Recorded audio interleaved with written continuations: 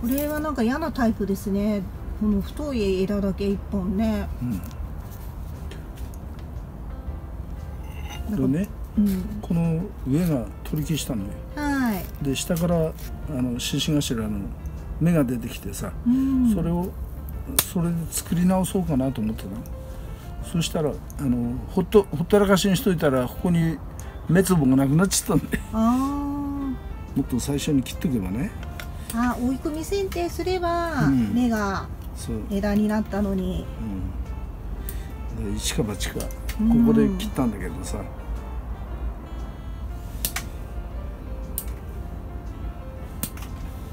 それでこれで作りゃいい木できたんだけど。ちょっと油断しちゃって。ようん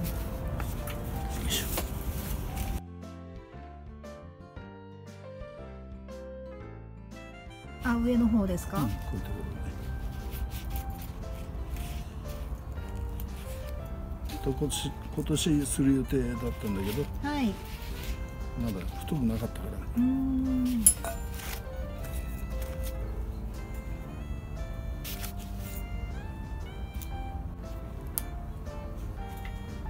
今の剪定は何の剪定なんですか？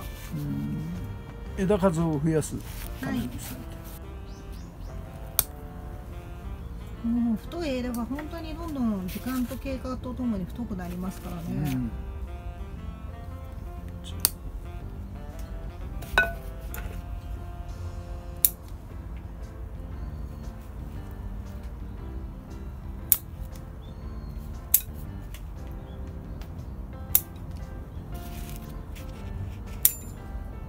もう新しいハサミだから切りやすいですね。うん。切れそうな音ししてんでしょ、うん。こ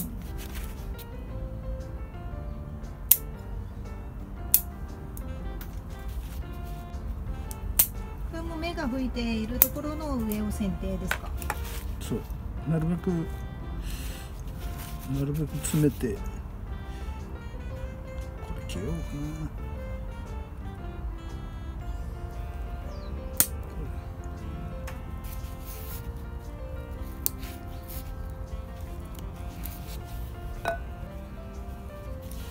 来年あたりですかねじゃあ取り木するの、うん。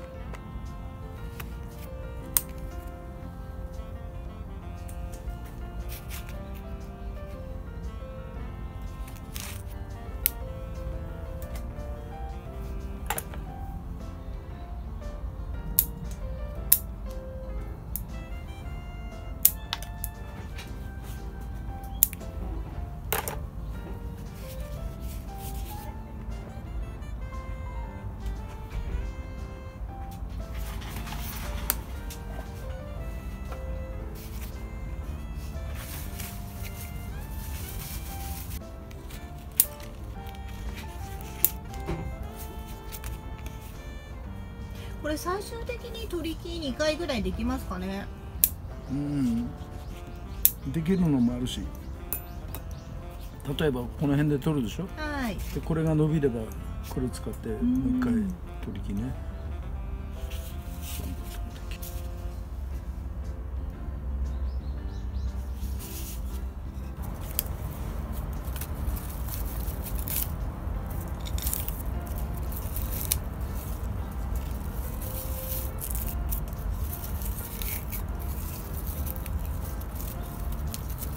かだんだんと取り木したものとしてないものって見分けがついてきますね。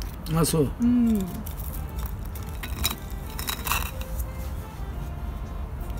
取り木したのって粘りがすごく良くなるじゃないですか、うん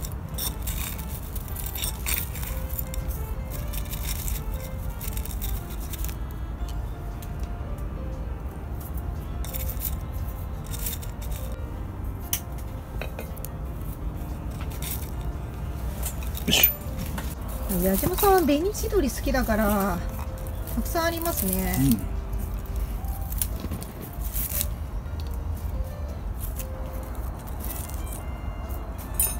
うん。紅千鳥はねうん。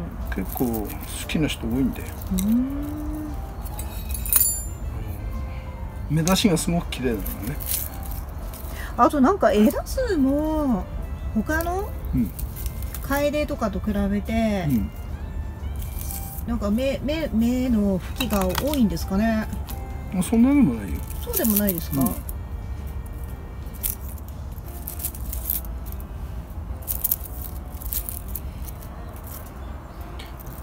ざわざわよくなるね。うん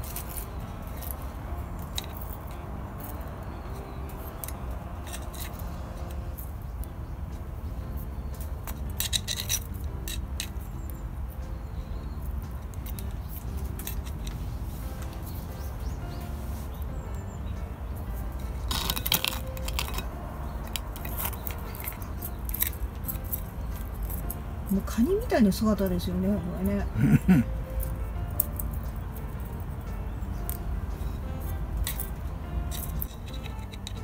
この頃年取ったせいかさうん夜車であの知らない道走るの怖い。